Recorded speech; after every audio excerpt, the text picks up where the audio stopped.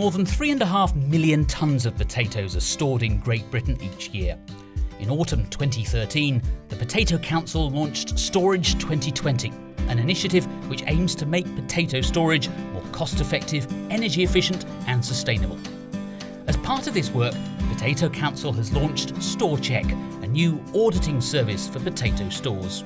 StoreCheck is a new comprehensive audit process that we are using to assess the quality of your store, how it performs and to maximise its efficiency.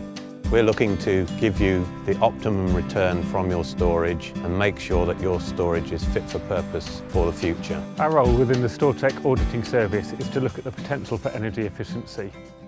This could be improvements with the refrigeration system, better air distribution within the store, or even looking at the air leakage of the store itself. An energy efficient store will have low running costs and carbon emissions, making it more sustainable. A key feature of the store check audit is the air leakage testing.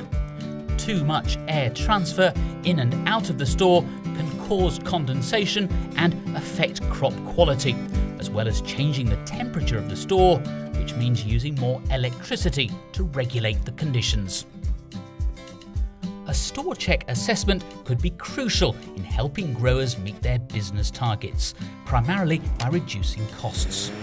In the longer term, store check can help growers to improve and maintain their potato quality whilst reducing their carbon footprint.